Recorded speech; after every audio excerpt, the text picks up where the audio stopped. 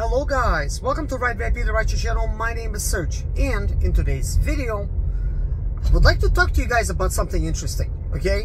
What am I going to talk to you guys about? What kind of vehicle should you be driving for Uber and Lyft? This is what we're going to focus on primarily. I'm going to show you guys some recent examples, and I'm going to talk about some past experiences and today's experiences when it comes to choosing a vehicle, using a vehicle, and how much money you could actually make with that vehicle, at least working for Uber. So let's begin. So today's a Saturday. This is a recent video that, that I'm recording. Just um, prior to making this video, I've made a screen recording video just showing you guys what kind of ride, ride offers am I getting, okay? So, that being said, I did a lot of cancellations. Even prior to recording the video, and then I decided to like, okay, let me just plug in, charge my Tesla while I'm just saying no to all of these ride offers just to see what kind of ride offers we're going to get. All right, so this is a Saturday out of all days. So here's the ride offer. That way you guys could see it. So it's probably going to be mirrored to you. So like, let me just tell you guys, this is a, a ride offer that I'm about to pick up right now. You might be thinking, why, right? This is comfort. Comfort, okay? I don't know if this is Comfort Electric, but this is Comfort. $20.24 they're paying me. 17 minutes to the pickup, which is equate, equates to 7.9 miles away, which is basically 8 miles, all right? 29 minute drive, which is 16.7 mile trip.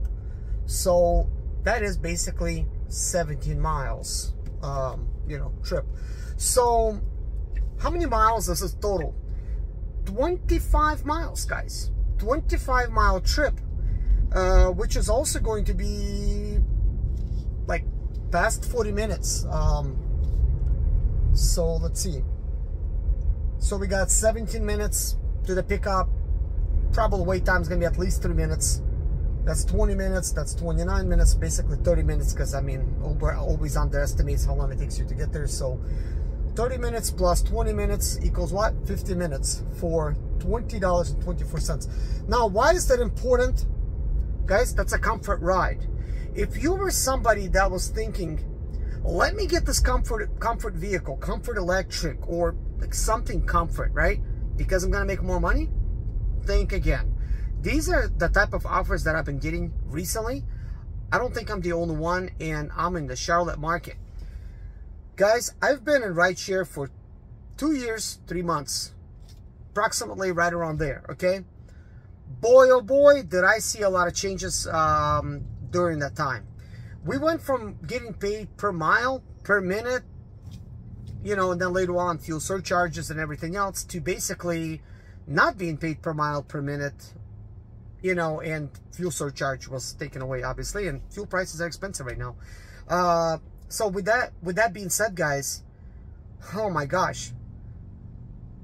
I'm so glad i did not buy a brand new vehicle my first year in. Uh, last year would, would have been my second year in uh, and this is my third year in. So technically because uh, you know i did not start working exactly in the middle in, you know beginning of the year. So my first year in i almost bought a Tahoe. Like I was between buying a Suburban and a Tahoe, which was a black one. They wanted to sell it to me for $38,000 and they were pretending like it's a good deal with like 130,000 miles on the speedometer, like for $38,000. And I was thinking, okay, at the time I was prior, you know, primarily working for Lyft and they were paying per mile, per minute. They were doing all the good things. And I looked at what qualified and I would sort of qualified, you know, like I would, I would qualify for Lyft's version of Uber Black, basically. Uber Black XL, so I thought I'm going to be qualifying. But I later learned that, well, that's how Lyft look at it. Uber, Tahoe does not qualify as a Uber Black XL. Maybe it might qualify as uh, just a Uber Black, you know.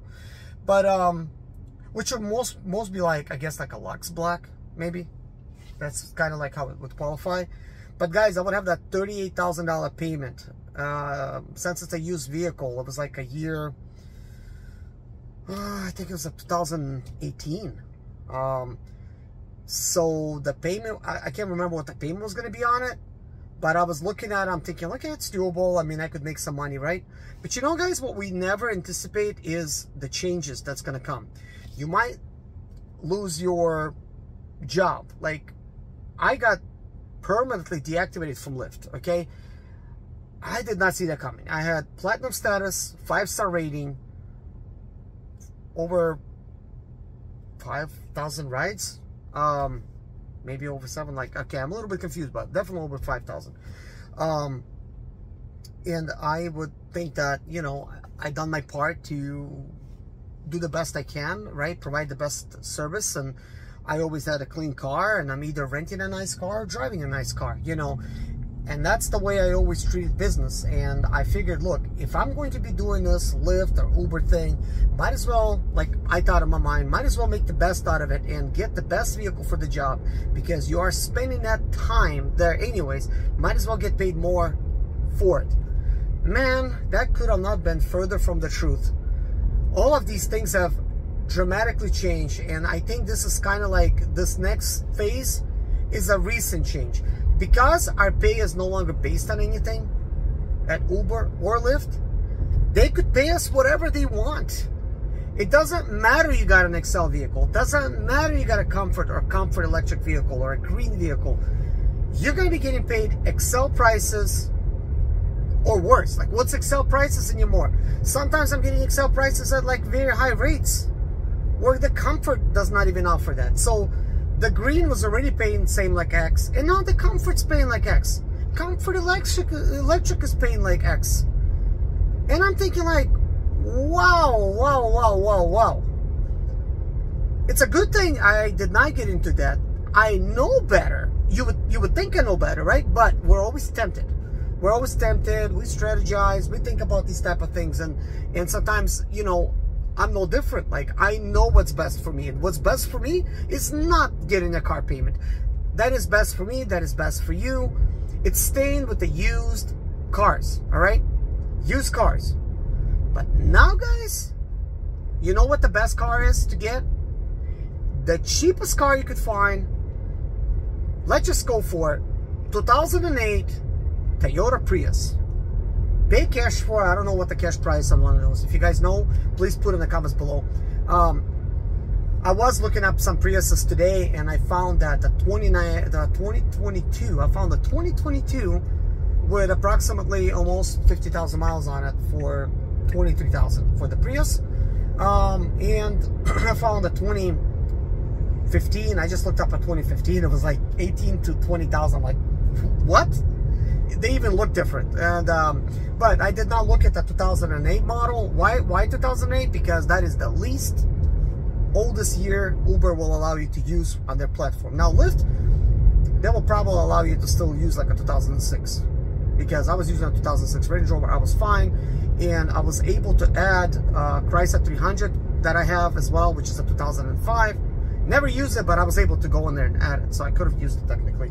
So at the very least 2005 they were still accepting but i'm guessing since uber went away from 2007 to 2008 lyft probably done something similar. It's probably no longer 2005 it's 2006 correct me if i'm wrong guys on any of these things okay? Because i'm not 100% correct on everything okay? Now you guys already know that and based on the comments that i received from you guys before you guys already know never buy a brand new vehicle for rideshare we all know that, okay? But a lot of us drivers, according to what I see, I talk to different people, you know, like at sometimes like airport waiting lots or I run into people, they got a brand new vehicle. They got a payment on it. Some people are renting like me. So that is that is the case. So I feel like I have to say this that it is not worth getting a brand new vehicle to do this especially a brand new comfort vehicle. It's like, okay, you want to get a brand new vehicle, all right? Get the cheapest you can. Get like the cheapest economy class vehicle because guess what? As you could clearly see, I'm doing 25 miles right now for a little over $20 for a comfort ride. So that is, I did, I did not count count like how much how much it really is, but like what's it like 70, 80 cents a mile, something like that. Um, and on top of that there's also you know obviously time involved you know? So i've taken this ride because there was the video that i recorded previously i, I said all right i'm gonna take it because it's a comfort. Maybe there's a tip involved. But i already know. People that take comfort rides don't necessarily tip. Some of them they go to these wealthy neighborhoods and they choose not to tip. They choose a comfort ride because they do want to be in a nicer vehicle spoke to some people yesterday out of uh, Texas and they said, oh my gosh, like some of the cars that would show up, like literally almost like falling apart, body parts on them painted different colors. And I'm like thinking like, how did Uber even allow that? And they said Uber. And they said Uber was like the worst uh, when it came to uh, Houston, Texas, and you know, all you know, some of these other places in Texas. And that was a couple years ago. But but nowadays, guys, like I'm looking at it, I'm thinking like we get paid no different. And I bet if I had an XL vehicle right now, which I will be adding to the platform, I will be testing how that goes. I bet they're gonna pay me all the same anyways. But anyways, guys, let me know your thoughts. Let me know your thoughts, please. Uh, let's keep this thing going in the chat. Um, let me know, guys, what is your take on it? Am I correct by saying just get the cheapest vehicle? You're to be getting paid Uber X prices or worse anyways. So might, might as well then might as well then um what the heck? Like there's people trying to get in get out like this whole thing's messed up they're not even letting me go to the left here. But um be picking up somebody here. Um this is ridiculous.